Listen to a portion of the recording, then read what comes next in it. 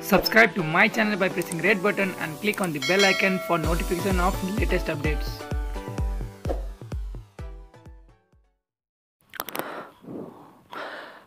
दुई साताअघि प्रधानमन्त्री केपी शर्मा ओलीको दोस्रो मृगौला प्रत्यारोपण विदेश या नेपालमा भन्ने विषय बहसमै थियो केही चिकित्सकले उनलाई नेपालभन्दा विदेशमै प्रत्यारोपण उपयुक्त हुने सल्लाह दिएका थिए। तर गत आइतबार एकाएक उनको प्रत्यारोपण त्रिवी शिक्षण अस्पताल महाराजगञ्जमै हुने खबर बाहिरियो यो खबर धेरैका लागि अप्रत्याशित थियो किनकि नेताहरू नेपालमै हुने उपचारका लागि पनि विदेशमा जाने गरेका थिए। त्यसमाथि प्रधानमन्त्री ओलीको यो दोस्रो प्रत्यारोपण थियो र उनलाई सङ्क्रमणको जोखिम बढी हुने थियो। तैपनि उनले प्रत्यारोपणका लागि त्रिवी शिक्षण अस्पताल नै रोजे। त्यसबेला हामीले प्राध्यापक डाक्टर अरुण साइमी र प्रेमराज ग्यावालीलाई सोधेका थियौँ। प्रधानमन्त्रीले शिक्षण अस्पतालमै प्रत्यारोपण गर्ने निर्णय गर्नुभएको कारण के हो त?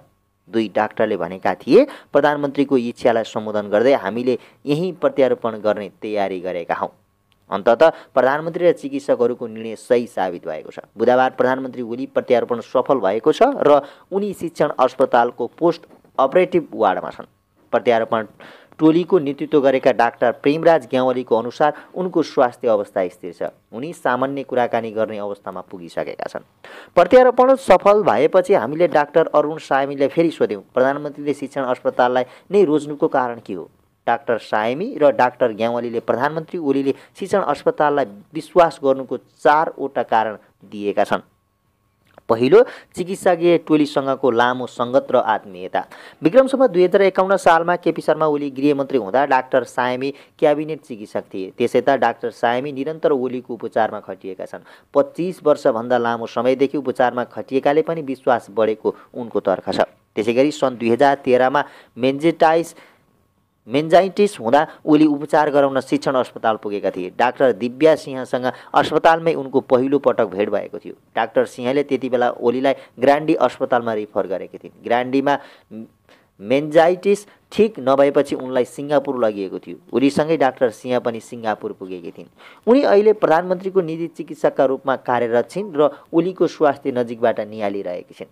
डाक्टर दिव्य सिंहको विश्वास र काउन्सिलिङका कारणले पनि प्रधानमन्त्रीले शिक्षण अस्पतालमै प्रत्यारोपण गर्ने इच्छा देखाएका हुन् डाक्टर सायमी भन्छन्।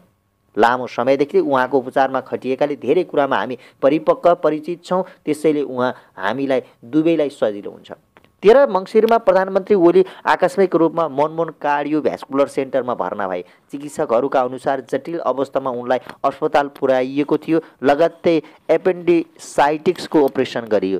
त्यो जटिल अपरेसन सफल भएपछि प्रधानमन्त्री ओलीलाई नेपालीको चिकित्सक र अस्पतालप्रति अझ विश्वास भयो। त्यसपछि उनी नेपालमै प्रत्यारोपण गर्ने मुडमा पुगे र चिकित्सकहरूसँग सल्लाह गर्न सुरु गरे।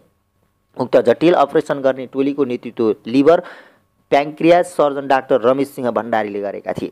नियमित मुटुको चेकअप मनमोहन सेन्टरमा भइरहेको थियो। डाक्टर सायमी भन्छन् गत वर्ष छातीमा इन्फेक्सन हुँदा पनि हामीले सफल उपचार गरेर पठाएका थियौँ। त्यसैले पनि उहाँलाई शिक्षण अस्पतालप्रति विश्वास लागेको हो। प्रधानमन्त्री ओलीको प्रत्यारोपण गर्ने टोलीका डाक्टर प्रेमराज ग्यावलीका अनुसार त्रिवी शिक्षण अस्पतालमा मृगौला प्रत्यारोपणको सफलताको दर अन्ठानब्बे प्रतिशत अन्ठानब्बे दशमलव सात प्रतिशत छ। अन्तर्राष्ट्रिय मापदण्ड अनुसार पन्चानब्बेदेखि सन्तानब्बे प्रतिशत प्रत्यारोपण सफल भए पनि त्यो त्यसलाई मृगौला प्रत्यारोपणको सफलताको आँकडा मानिन्छ। यो हिसाबले शिक्षण अस्पतालमा प्रत्यारोपणका सफलताको दर अन्तर्राष्ट्रिय मापदण्डभन्दा अब्बल छ। त्यसैले त्यसै गरी अस्पतालमा अहिलेसम्म दसवटा दोस्रो प्रत्यारोपण गरिएको मध्ये आठवटा सफल भएको छ। यी तथ्याङ्क बुझेका ओलीले त्रिवी शिक्षण अस्पताललाई रोजेको बताउँदै डाक्टर ग्यावली भन्छन् हामी नेपाली चिकित्सकहरू सक्षम छौँ हाम्रो स्वास्थ्य संस्थाहरू सक्षम छन् सबै उपचारको लागि विदेशै जान पर्दैन। तेस्रो पक्ष शिक्षण अस्पतालमा अन्य सुविधा पनि छन्। चिकित्सकहरूको अनुसार प्रत्यारोपण गर्दा गर्दै र प्रत्यारोपणपछि पनि विभिन्न जटिलता आउने गर्छ। त्यसका लागि विभिन्न ल्याब ब्लड ब्याङ्क तथा अन्य विधाका चिकित्सकहरू पनि स्ट्यान्ड बाई रहनुपर्छ। त्यो हिसाबले नेपालका अन्य अस्पतालभन्दा शिक्षण अस्पताल उपयुक्त छ। त्यहाँ मुटु फोक्सो र रगतको नसासँग सम्बन्धित सबै ग्यारेज छ। स्पेसिलिस्ट डाक्टरहरू छन्। मृगौला प्रत्यारोपण गर्दा मुटुको खतरा तथा सङ्क्रमण पनि हुनसक्छ त्यस्तो खतरा आइपरेमा सजिलो हुन्छ भन्ने पूर्व तयारीका साथ शिक्षण अस्पताल रोजिएको हो डाक्टर सायमी भन्छन्। जटिलभन्दा जटिल प्रत्यारोपणको लागि शिक्षण अस्पतालको विकल्प अरू अस्पताल हुन्न किनकि अरू अस्पतालमा अन्य सबै सुविधाहरू उपलब्ध नहुन सक्छन्। चौथो सरकारी अस्पताल पनि सक्षम छ भन्ने सन्देश दिन चाहना।